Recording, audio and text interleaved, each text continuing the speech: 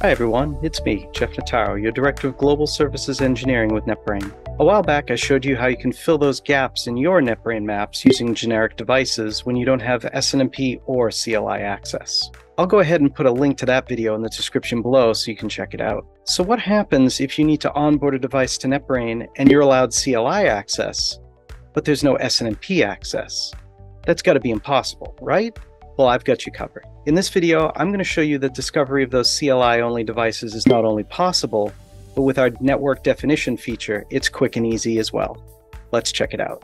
From the end user desktop, go to the tic-tac-toe dots in the upper left corner of the screen, and then search for Network Definition. With the network definition screen successfully loaded, let's quickly talk about what discovering by network definition is going to do for you. As you may or may not be aware, during the discovery of standard CLI accessible networking devices, NetBrain will attempt to identify the device being discovered by examining its reported SNMP object identifier, or OID. Once the device has been properly identified, NetBrain loads the appropriate device driver and attempts to access the device using CLI. These device drivers are then used by NetBrain to apply the appropriate command syntax when sending commands and reading output from your devices so that, for example, NetBrain won't try to send Cisco IOS commands to a Fortinet firewall. When we use network definition, we shortcut the SNMP discovery process altogether and just tell NetBrain what the device is and which device driver it should use when communicating with a specific IP address or range of IP addresses. To get us started, I'm going to click on Add, which will pop up the Associate Device Type and Driver dialog. Now in this box, I'm going to specify the IP address of the device I want to discover using network definition. And then I'll go ahead and specify the device type, which is a combination of the vendor and the model. Lastly, I'll select the built-in NetBrain driver that's been designed to work with my particular device, and then click Save to complete my network device definition.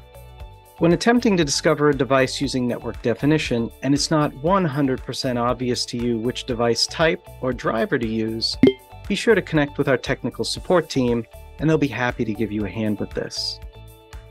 Now, as you can see, I've successfully created the network definition that indicates to NetBrain anytime our discovery process encounters this IP address, it's only to use the device type and driver that I specified to access it. All that's left is to run the discovery process and bring it into NetBrain. And freeze. Before I discover this device, you're probably asking yourself, this looked really easy and is going to be a very short video. Why bother with SNMP discovery at all? Well, manually mapping every device IP in your network to a device driver in this way simply doesn't scale and will require lots of careful management to ensure that your digital twin stays accurate. Much like that generic device feature, network definition is designed to help you fill those critical gaps in your NetBrain digital twin, but not take the place of standard device discovery. Let's switch to our discovery pane, input the device IP, and then click Start Discovery.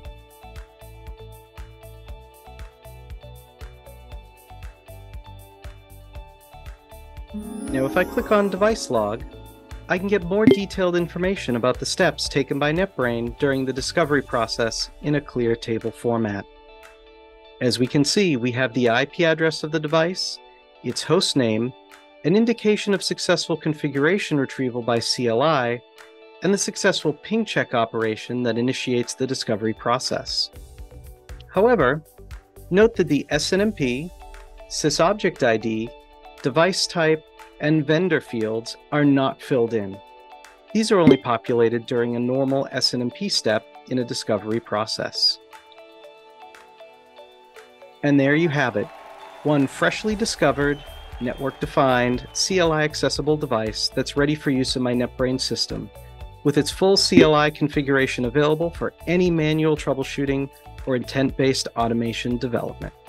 As you just saw, using network definition is the way to get those CLI-only devices discovered and to help you maintain a proper digital twin of your physical network in NetBrain. If you found this helpful, be sure to like this video and subscribe to the NetBrain YouTube channel. You'll automatically be notified when we release more videos like these to help you get the most out of your NetBrain platform. If you have questions, comments, or ideas for future videos, be sure to leave a comment below. Don't forget to visit us at www.netbrain.com to learn about our latest no code automation innovations, and we'll see you next time.